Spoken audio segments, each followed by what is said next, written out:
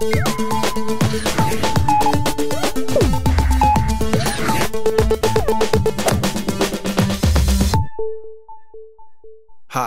I'm Kenny Gioia. Welcome to another one of my tutorials.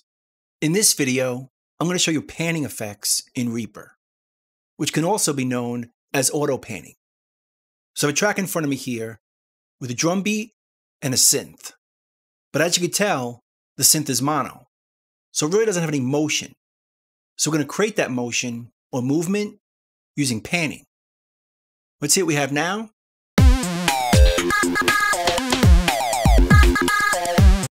Let's solo the synth, the mono synth.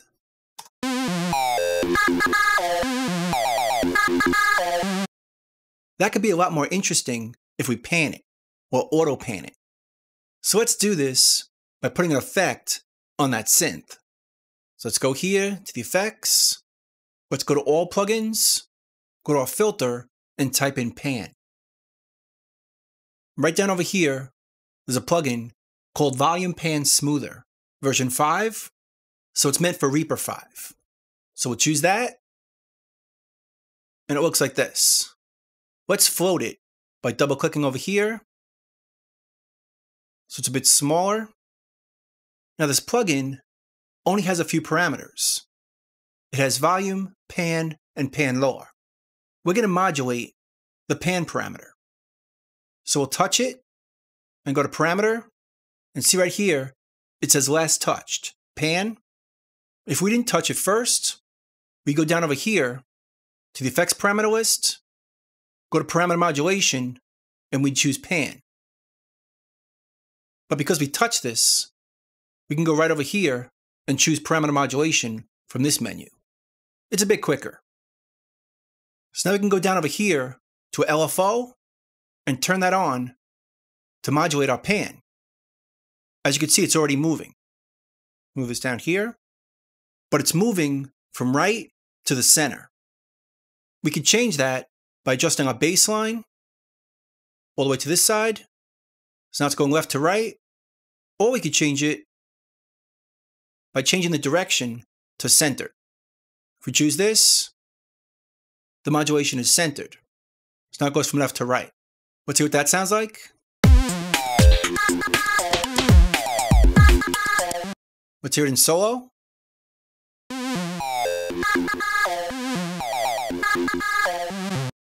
Right away, it's a pretty cool effect.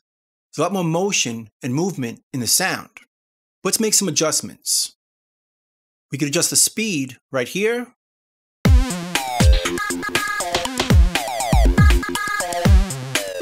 To make it slower or faster.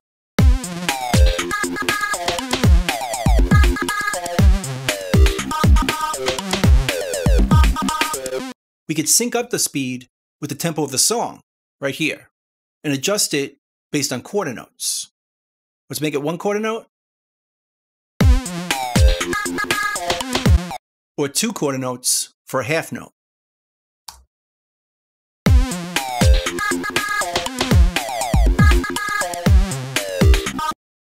We can go to the phase and adjust where the sound starts.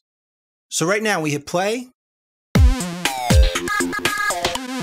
It starts on the left side. We could change it to the right side or anywhere in between. We could also change it by switching the direction to negative and moving this to the right side.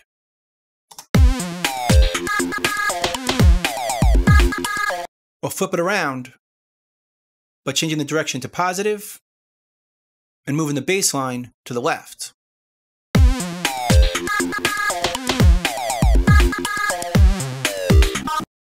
Now right now, every time I hit play, it starts from the same point.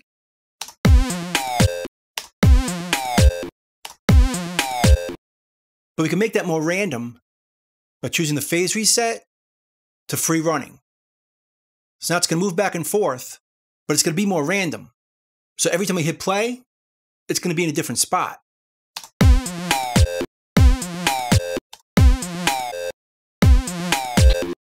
So it starts a bit more random. Let's switch this back to on seek and then it's going to restart our phase or its pattern every time we hit play.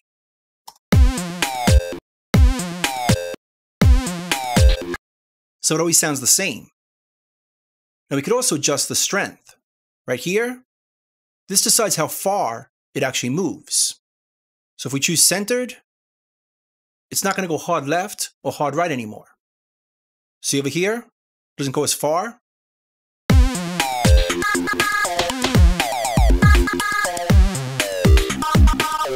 So we can control the width of the effect using our strength.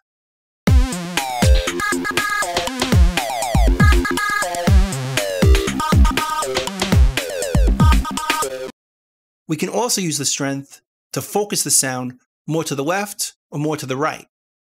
So let's adjust our baseline to be towards the left, bring this to 50, and see the sound is between hard left and the center.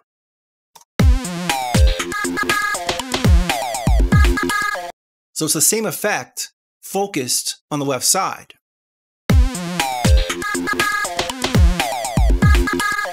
And we could do the opposite by adjusting the baseline to the other side.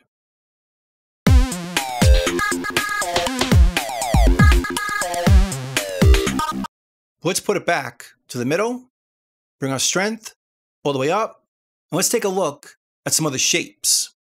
Right now we're using a sine wave, so it's very smooth from left to right, and it goes from left to right and everywhere in between. If we choose a square wave, it just has two positions.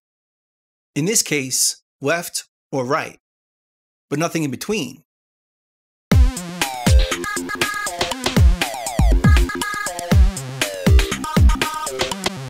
We can make it faster to a quarter note.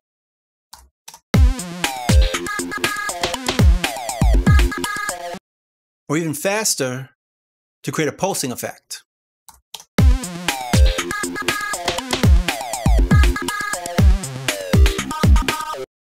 So that's a square wave. We could also choose saw waves in two different directions. If we choose saw left, let's make it slower. It goes smoothly from right to left and then bounces back and starts again, starting the pattern over again.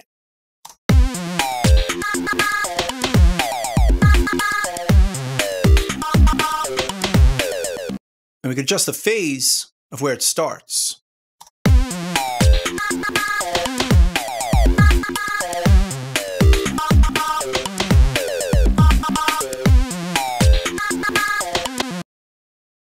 Or we can reverse it by choosing saw right. Now it moves the opposite way, from left to right, and then it bounces back again, repeating the same pattern.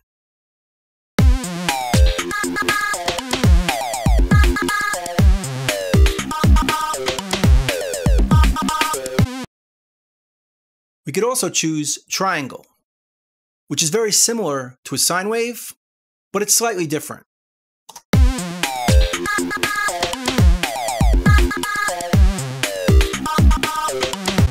It's a sharper pattern. And then finally, we have random. This is going to randomly move to different pan points. Let's make this faster. Make an eighth note. See how it moves? Completely random.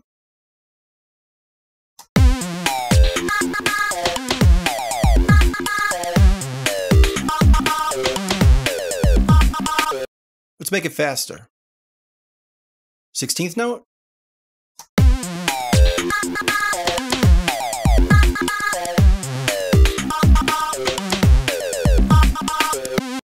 But if you just want to create a standard auto pan, you're going to want to stick to either triangle or sine waves.